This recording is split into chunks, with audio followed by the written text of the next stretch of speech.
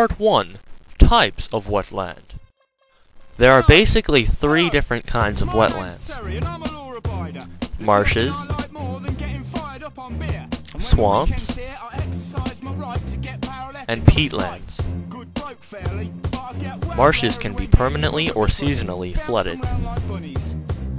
Water chemistry in marshes depends on the water sources and varies from saltwater to freshwater. Usually, the soil of marshes are rich with minerals. Swamps are dominated by trees and shrubs.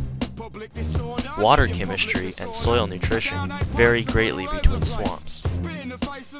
In peatlands, plants are produced more quickly than they can decay.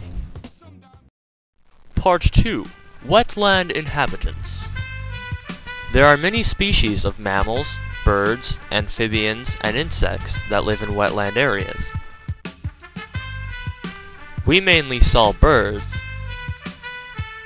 insects, and the occasional jackalope.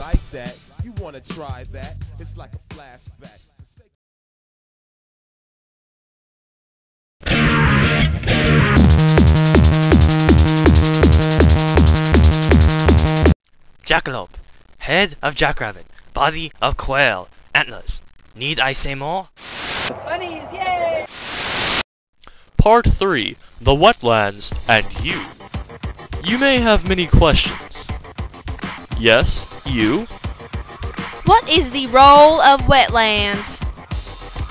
That is an excellent question. Wetlands provide a habitat for many animal communities.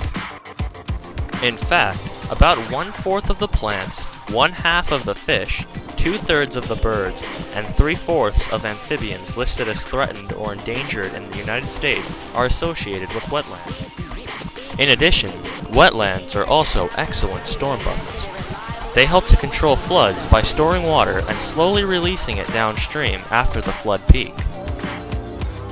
Wetlands also provide many opportunities for recreational activities, such as birdwatching or hiking. They also provide educational opportunities for nature studies and scientific research. Sorry you had to see that. Part 4. The YOLO Experience If you ever visit the Yolo Basin Wildlife Area, you can experience and learn many things.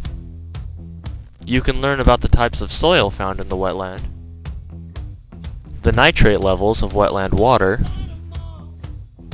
the different types of vegetation in the wetlands, and the organisms that inhabit wetland water. Wetlands are very important to the earth and its inhabitants.